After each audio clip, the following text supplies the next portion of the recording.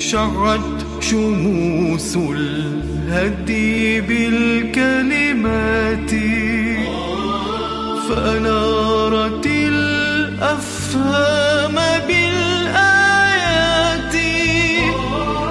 أسرج بنور العلم عقلا نيرا وافتح من الألباب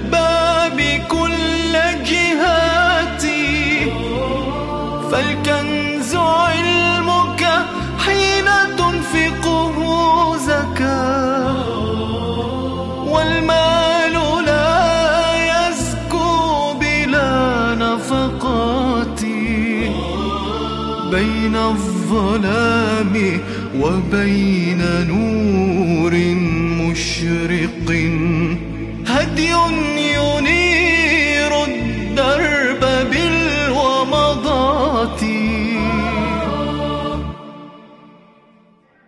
بسم الله الرحمن الرحيم.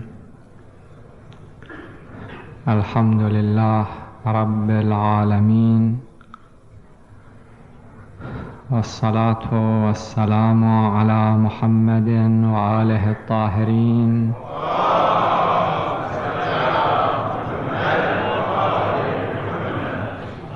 ولعنة الله على أعدائهم أجمعين إلى يوم الدين.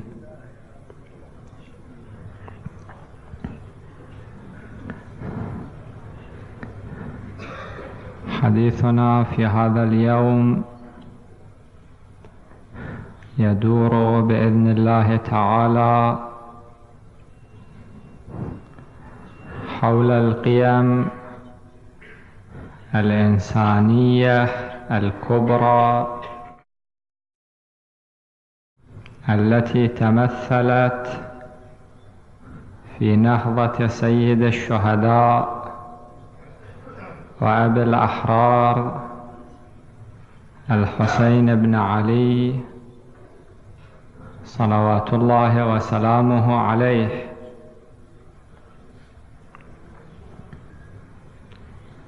قبل الدخول في صلب الموضوع نتوقف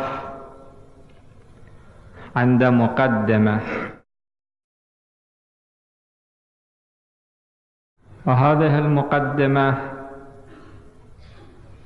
هي أن حركات التاريخ الكبرى تتنوع إلى نوعين.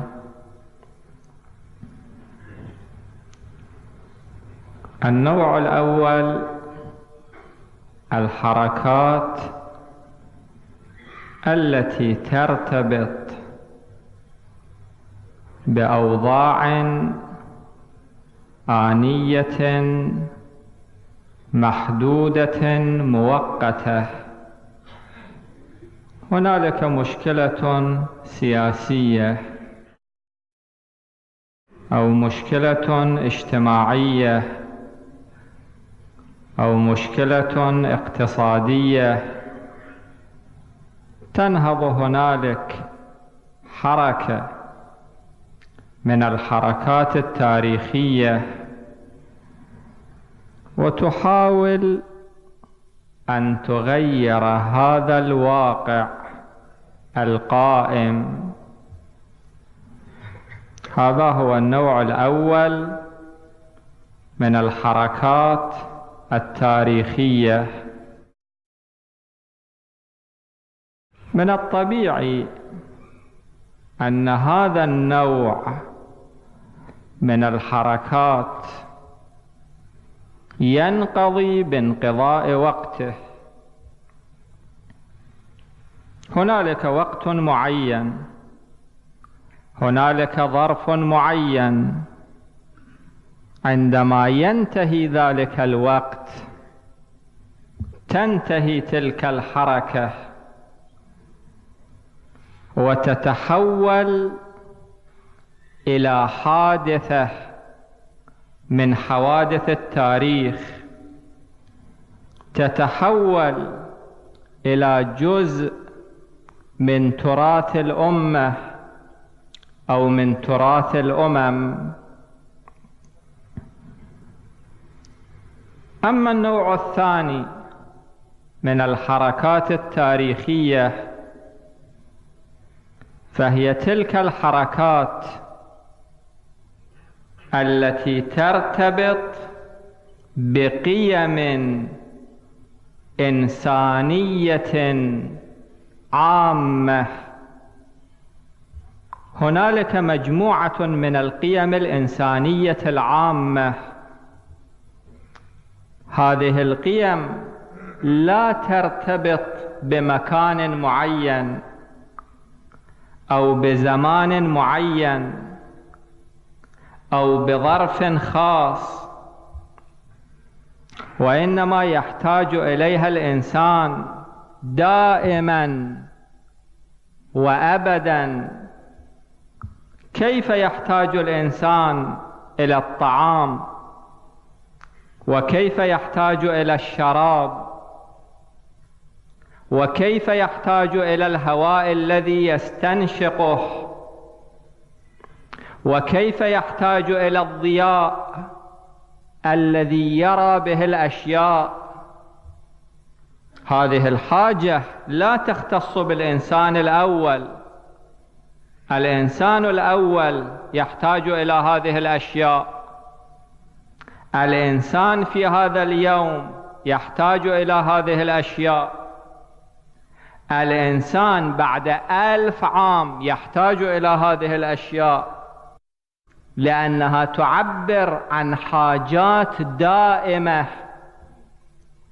كذلك القيم الإنسانية قيمة العدل قيمة الحرية قيمة الكرامة قيمة الوفاء قيمة التضحية.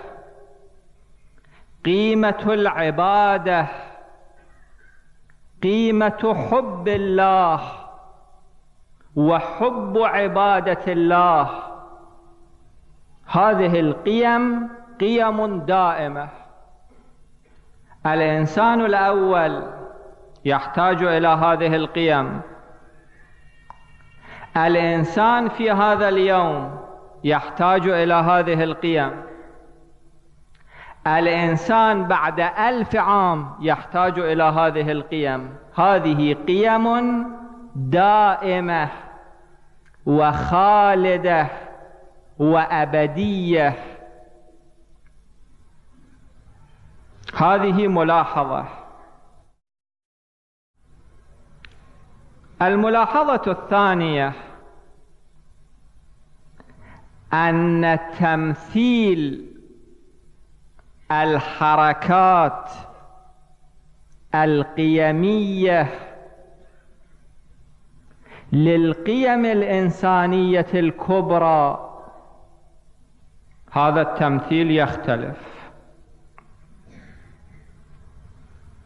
يختلف من الناحية الكمية.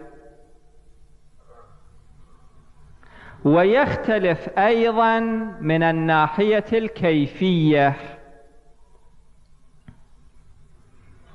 الناحية الكمية كم تمثل هذه الحركة التاريخية من القيم؟ إذا تركنا الحركات الوقتية الآنية المحدودة ما علينا بهذه الحركات لأنها لا قيمة كبيرة لها في المنظار وفي المدى التاريخي. لا الحركات القيمية كم تمثل من القيم؟ ربما حركة تاريخية تمثل قيمة واحدة.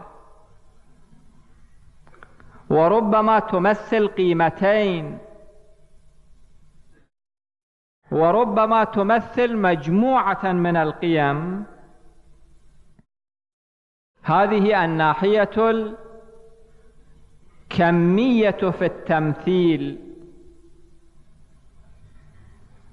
الناحية الثانية الناحية الكيفية كيف تمثل؟ درجة تمثيل هذه الحركة التاريخية لهذه القيم. عشرة بالمئة عشرين بالمئة ثمانين بالمئة. الحركات تختلف. كما وكيفا التاريخ كله ونقول هذه الكلمة بجزم. التاريخ البشري كله لم يشهد ولن يشهد حركة تاريخية كبرى مثلت القيم الإنسانية بأعلى درجات التمثيل وبأكبر كمية ممكنة كحركة الإمام الحسين صلوات الله وسلامه عليه كقضية عاشوراء في هذه الحركة التاريخية نجد أن القيم الإنسانية القيم الإلهية تمثلت في هذه الحركة. ولذلك هذا عامل من العوامل. هنالك عوامل كثيرة. ولكن هذا إحدى العوامل في أن نهضة الإمام الحسين صلوات الله عليه تتحدى الموت. لا يمكن أن تموت هذه النهضة المقدسة. كذب الموت. الحركات التاريخية تموت. ولكن كذب الموت فالحسين مخلد. كلما أخلق الزمان تجدد. كأنه نهضة الإمام قضية الإمام فاجعة كربلاء كأنها حدثت اليوم. هكذا نشاهد هكذا نرى التفاعل. لا بأس أن أنقل هذا الشاهد وهذا الشاهد لا يختص بفرد معين لا هذا مثال. العم كان ينقل حفظه الله عن الجد رحمه الله أنه كان مقيدا. هذه القضية بعد ألف وأربعمائة عام تقريبا. كان مقيدا كل يوم. ولعله هنالك الكثير ممن يعملون هذا العمل. كان مقيد كل يوم يجمع أهله وأولاده عند طلوع الشمس. ويأخذ الكتاب. ويقرأ جانبا من قضية كربلاء وقضية سيد الشهداء. الأولاد إذا موجودين يقرأ لهم مع أنه ما كان خطيبا ولكن كان يريد أن يدون اسمه في هذا السجل سجل سيد الشهداء صلوات الله وسلامه عليه. العم كان ينقل وهذا هو الذي يهمنا في هذه القضية كل يوم إلا إذا يوم يكون مريض ما يتمكن أو يعرض له عارض. العم كان يقول وما كان يقرأ يوما المصيبة كل يوم على مدار العام لزوجته لأولاده. إلا ويبكي. لاحظوا هذه العلاقة. لاحظوا هذا التأثير كل يوم يقرأ ويبكي. هذه القضية قضية حية قضية خالدة. لا يمكن أن تموت. نحن نذكر بعض القيم الإنسانية الكبرى التي تجسدت في نهضة سيد الشهداء. إحدى هذه القيم التي هي قيمة محورية في هذا اليوم في العالم كله بل كانت قيمة محورية في جميع العصور قيمة الحرية.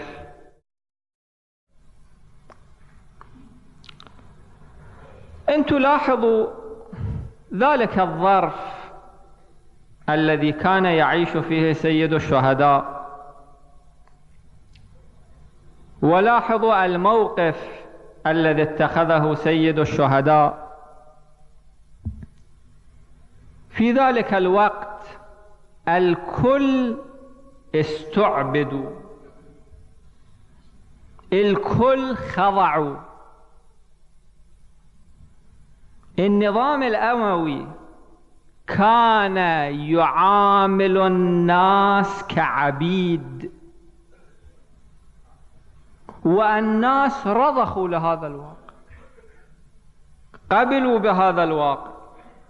الوليد كان يقول إن الناس عبيد لنا. مسلم ابن عقبة هذا بعثه يزيد إلى المدينة. من كثرة ما أراق من الدماء الناس سموه مسرف. ابن عقبة جاء إلى المدينة. وقتل الناس. وأجرى الدماء في حرم رسول الله صلى الله عليه وآله. ثم أخذ البيعة من الناس. ليزيد ابن معاوية. لعنة الله عليه. البيع على نفوسهم ودمائهم وأموالهم. أخذ البيعة منهم. راجعوا التواريخ على أنهم عبيد ليزيد ابن معاوية. يبيعهم ويشتريهم. الناس بايعوا مسرفا على ذلك على أنهم عبيد ليزيد. الوليد كان يقول ونحن المالكون الناس طرا. مالكون هؤلاء ملك عبيد لنا. نسومهم المذلة والنكالة. نذلهم. عبيد إلنا نذلهم. لا فقط عبيد. لاحظوا صحابيا أو رجلا كبيرا في المنظار الاجتماعي مثل عبد الله بن عمر المشهور. هذا الرجل يأتي إلى الحجاج. ويقول له الحجاج عندما دخل مكة وفتح مكة يقول له مد يدك لأبايعك. فإن رسول الله صلى الله عليه وآله قال من مات وليس في عنقه بيعة لإمام زمانه. مات ميتة جاهلية أو ميتة الجاهلية هذا الرجل الكبير اجتماعيا. فقال له الحجاج إن يدي مشغولة ومد رجله وقال بايع مع رجلي. فقال عبد الله بن عمر أتسخر مني؟ فقال له كلمة حادة ما أذكر الكلمة يا فلان أمير المؤمنين علي بن أبي طالب لم يكن إمام زمانك؟ ما بايعته؟ ذاك الوقت رسول الله ما كان قد قال هذا الحديث؟ إنما دفعك إلى بيعة عبد الله بن الزبير المصلوب فوق تلك الشجرة. هكذا كان الناس ولكن سيد الشهداء صلوات الله وسلامه عليه وأصحابه الأوفياء علموا الناس قيمة الحرية في ذلك الظرف. لا فقط الناس في ذلك الوقت وإنما على مدار التاريخ. إن تقارنوا بين الشيعه أهل البيت شيعة الإمام الحسين وبقية الطوائف وبقية الفرق تجدون أن تلك الروح التي تمثلت في قضية عاشوراء هذه الروح موجودة في شيعة الحسين. وشيعة أهل البيت. روح الحرية. مسلم بن عقيل عندما عرض عليه الأمان قال آليت لا أقتل إلا حرا. وإن رأيت الموت شيئا نكرا. إذا دار الأمر بين الموت حرا والحياة في أغلال العبودية فالموت مقدم. الإمام الحسين صلوات الله عليه خاطب ذلك الجيش وقال لهم إن لم يكن لكم دين وكنتم لا تخافون المعاد فكونوا أحرارا في دنياكم. هذه الحرية التي تمثلت في قضية عاشوراء وتمثلت في أصحاب سيد الشهداء الأوفياء. ونجد هذا الخط التاريخي. الآن شوفوا. قبل الآن شوفوا. خط الحوزات العلمية. خط علماء الدين. خط مراجع التقليد. خط الشيعة على مدار التاريخ. هذه ظاهرة واضحة في خط الموالين لسيد الشهداء. هو خط الحرية وخط التحرر وخط الرفض للخضوع إلى أية قوة.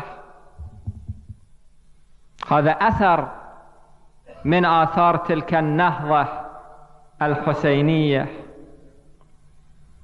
هذه قيمة القيمة الثانية. هذه القيمة الإنسان بعد قرون قرون طويلة أعلن عن هذه القيمة الإنسانية. العالم الآن يفتخر بإعلان هذه القيمة. وبإعلان القيمة الأولى. هذه قيم الآن العالم يفتخر بأنه أعلنها. مجرد إعلان. إذا ندقق إعلان. لم يتحول إلى واقع. في أول مادة. من الإعلان العالمي لحقوق الإنسان.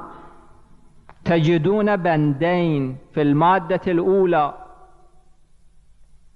بند الحرية الإنسانية وهذا البند الثاني بند المساواة. جميع الناس متساوون. مجرد إعلان هذا الإعلان قبل حوالي خمسين عام 52 عام تقريبا. هل تجدون لهذا الإعلان العالمي واقعا تطبيقيا؟ يوجد؟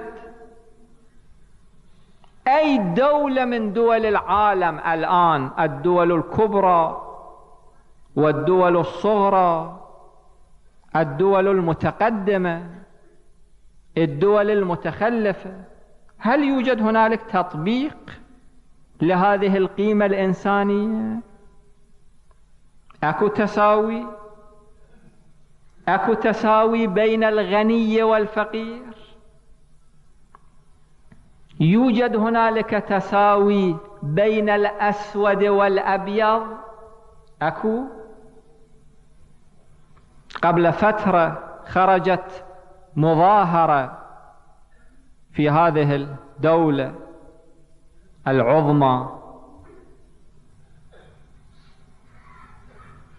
هذه المظاهرة أخرجها مجموعة من الملونين. شعار هذه المظاهرة من شعاراتها الأسود أيضا إنسان. إحنا أوادم مثلكم. ما نطالب بأكثر من هذا؟ إحنا مو شيء آخر. الأبيض أيضا إنسان. لا نجد في دولة من دول العالم ما أظن أكو هنالك دولة واحدة تعمل هذا المبدأ مبدأ المساواة بين الغني والفقير بين الأسود والأبيض بين من يسمونه المواطن والأجنبي. هذا مواطن هذا أجنبي.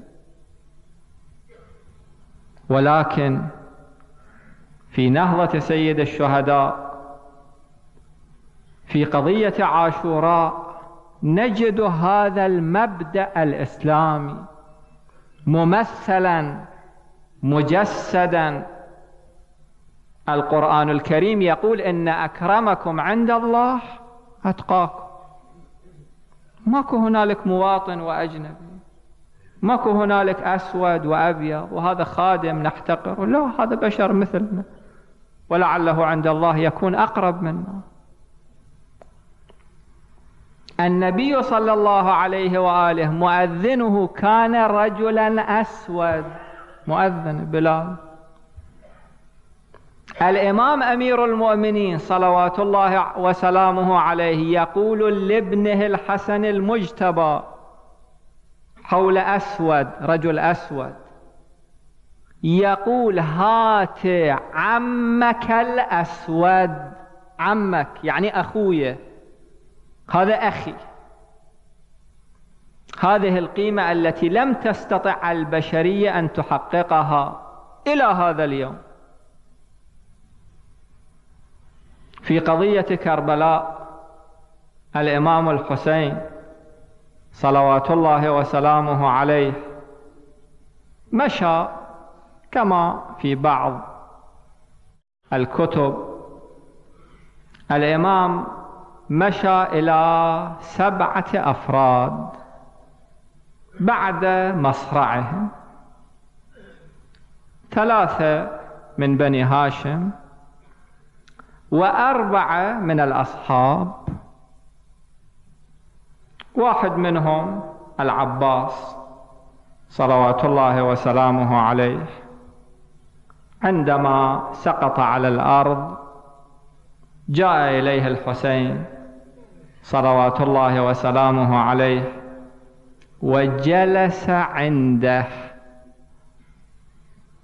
أكو في بعض الأفراد الآخرين عبارة المقاتل أنه وقف عليه. ولكن في أبي الفضل العباس عبارة المقاتل أنه جلس عنده. وقال الآن انكسر ظهري. هذا واحد. الثاني القاسم. الإمام صلوات الله وسلامه عليه جاء إلى مصرعه ووقف عليه وقال بعدا لقوم قتلوك. الثالث مسلم ابن عوسجة الإمام مشى إلى مصرعه وقال رحمك الله يا ابن عوسجة. الرابع الحر الإمام مشى إلى مصرعه وقال ما أخطأت أمك إذ سمتك حرا أنت الحر في الدنيا والحر في الآخرة ثم استعبر صلوات الله وسلامه عليه.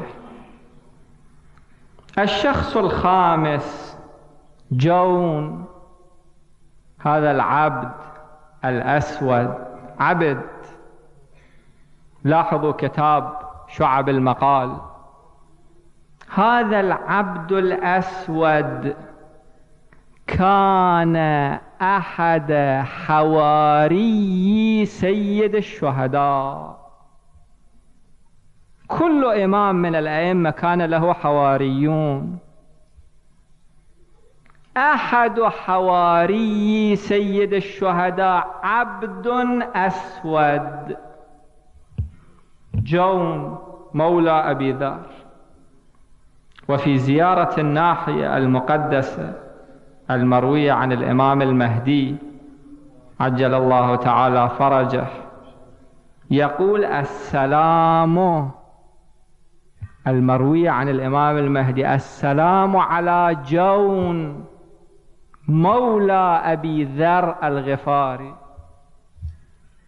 الإمام أيضا جاء ومشى إلى مصرع جون ودعا له قال اللهم بيض وجهه وطيب ريحه واحشره مع محمد صلى الله عليه وآله.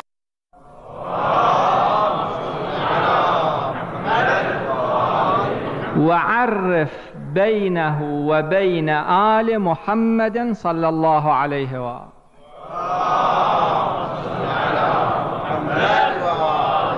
كما مشى إلى العباس يمشي إلى هذا العبد الأسود. وهنالك شخصان آخران أيضا. مشى إليهما الحسين صلوات الله عليه. أحدهما وكان تعامل الإمام الحسين معهما تعاملا مماثلا. أحدهما علي الأكبر. عندما سقط من جواده بعد أن حمله الفرس إلى معسكر الأعداء فمزقوه بسيوفهم إربا إربا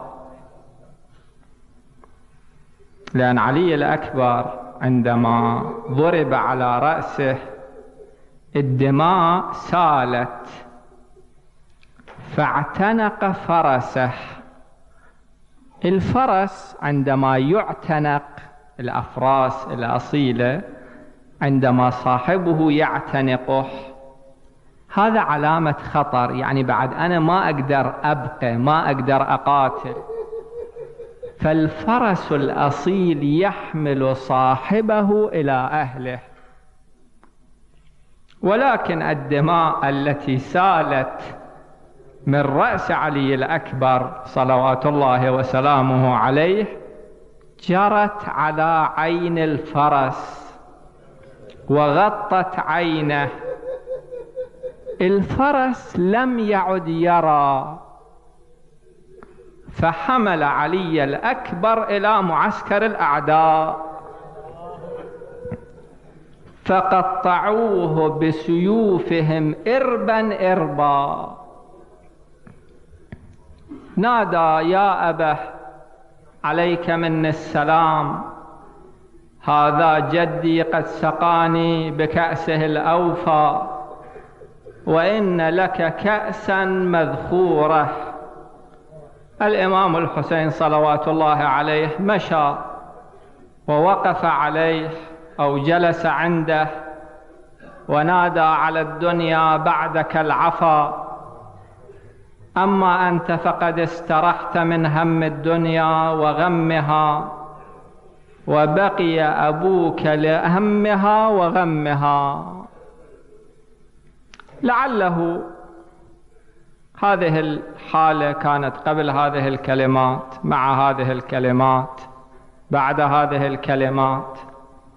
الإمام كأنه لعله قلبه ما ارتاح.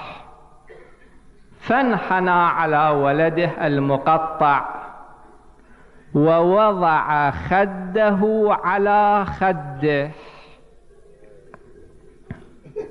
ثم بعد ذلك نادى يا فتيان بني هاشم احملوا أخاكم إلى الفسطاط. بعض يقولون أنه علي الأكبر بدنه كان مقطع. ما كان الإمام يتمكن أن يرفع هذا البدن. فجاء بنو هاشم ورفعوا هذا البدن إلى الفسطاط. هذا هو السادس. وهنالك شخص سابع مشى إليه الحسين. صلوات الله وسلامه عليه وهو واضح واضح غلام عبد العبد لا قيمة له عندنا. الإمام الحسين صلوات الله وسلامه عليه مشى إليه. وليس عجيبا أن الإمام مشى إليه ولكن العجيب أن الإمام احتفى به بذات الطريقة التي احتفى بولده. في علي الأكبر وضع خده على خده. وواضح هذا الغلام هذا العبد. الإمام مشى إليه ووضع خده على خده.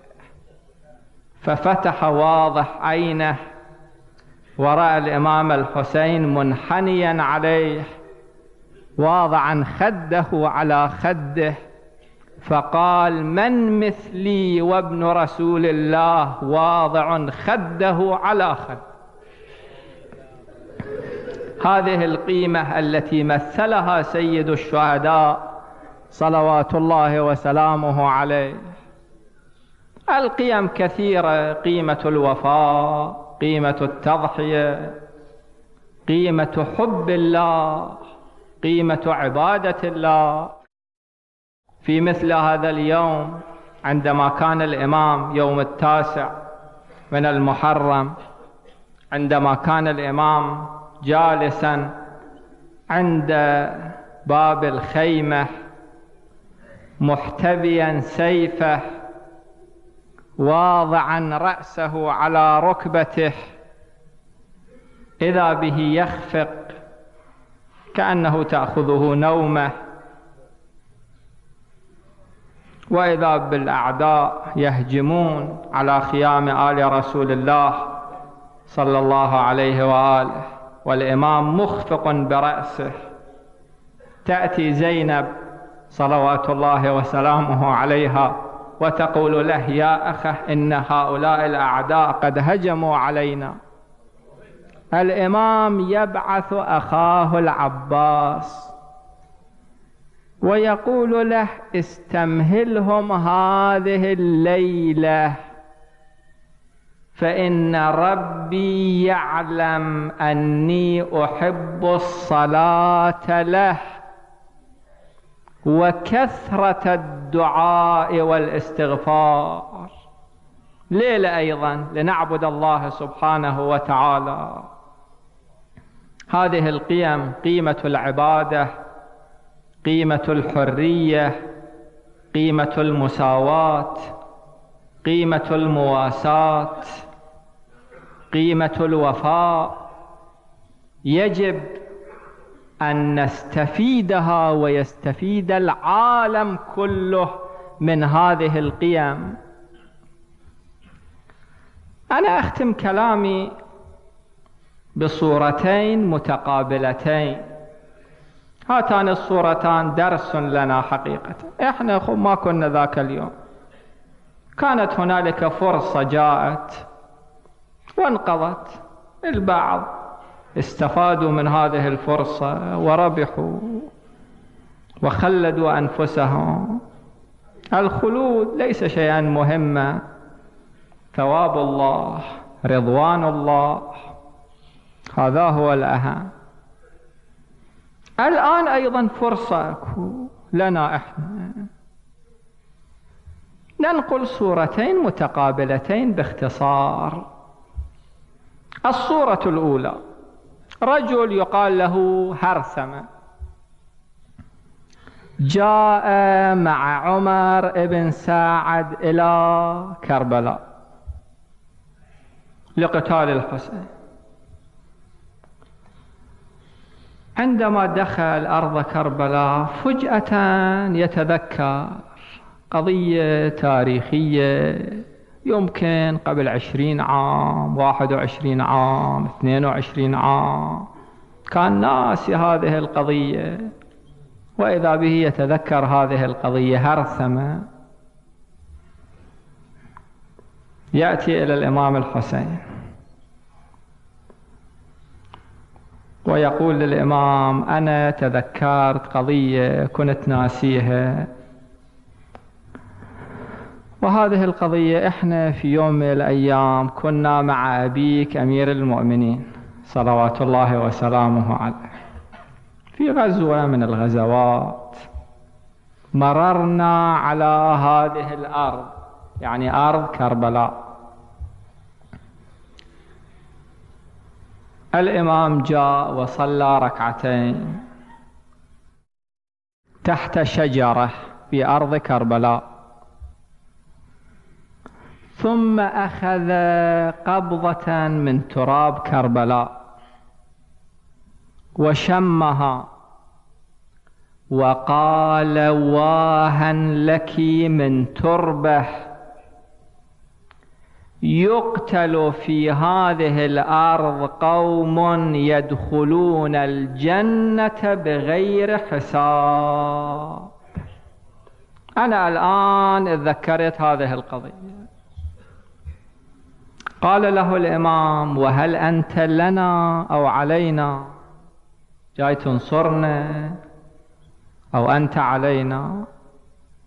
لاحظوا الحرمان حقيقة لاحظوا الشقاء. فقال هذا الرجل هرثم للإمام لا لكم ولا عليكم إني تركت خلفي عيالا أنا عندي عائلة. كأن سيد الشهداء ما إلى عائلة. كأن أصحابه ما إلهم عائلة. إني تركت خلفي عيالا. أنا أرد أروح لا لكم ولا عليكم. فقال له الإمام صلوات الله وسلامه عليه إذا كان كذلك الإمام نصح فول عن هذه الأرض روح. فإنه لا يشهد مصرعي أحد إلا أكبه الله في نار جهنم. لا تكون هنا لا تكون شاهد على هذه القضايا. روح لا تسمع واعيتي. فذهب الرجل. الإمام أمير المؤمنين يقول يدخلون الجنة بغير حساب. والسعادة جاءته لكن ما عنده توفيق. شقاء هذا يقال له الشقاء. هذا نموذج. النموذج الثاني نموذج مقابل. رجل من بني أسد ينقل هذه القضية. رجل يقال له العريان مذكور في كتب التواريخ. يقول أبي العريان ينقل كان نازلا بقرب كربلاء وكنا نمر على كربلاء. نشوف هناك رجل مرابط في كربلاء. رجل من بني أسد.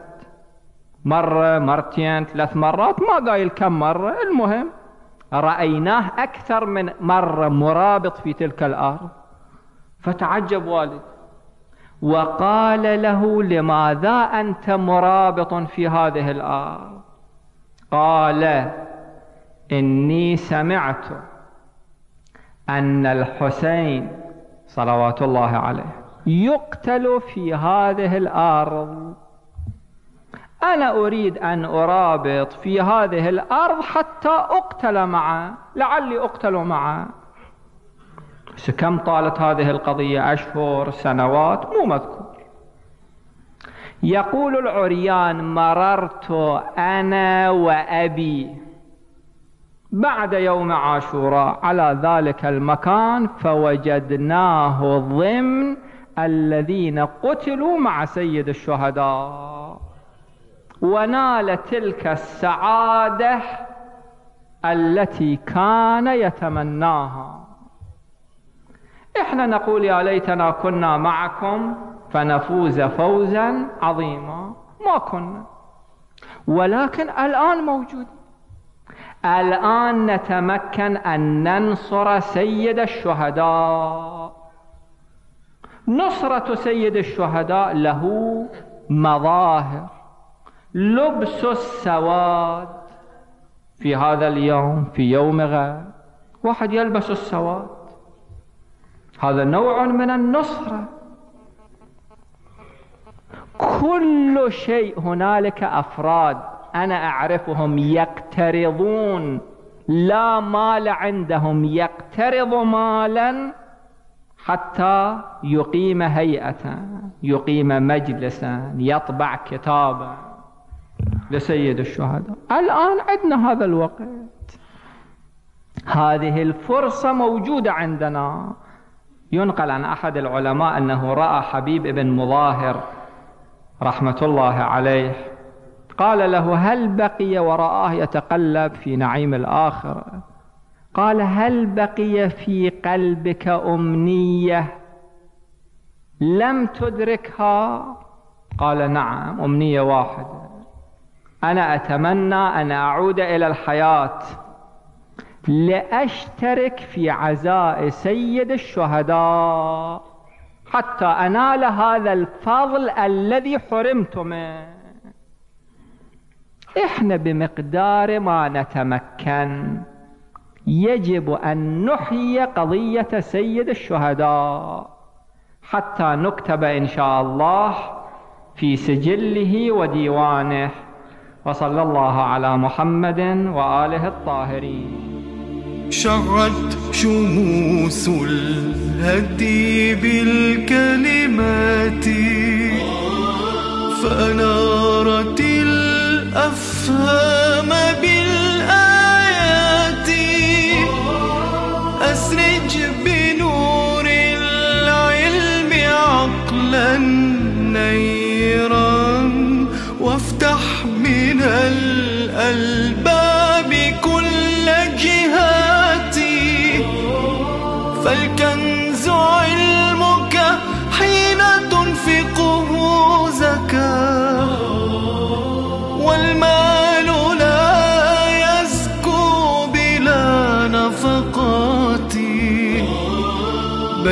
الظلام وبين نور مشرق. هدي ينير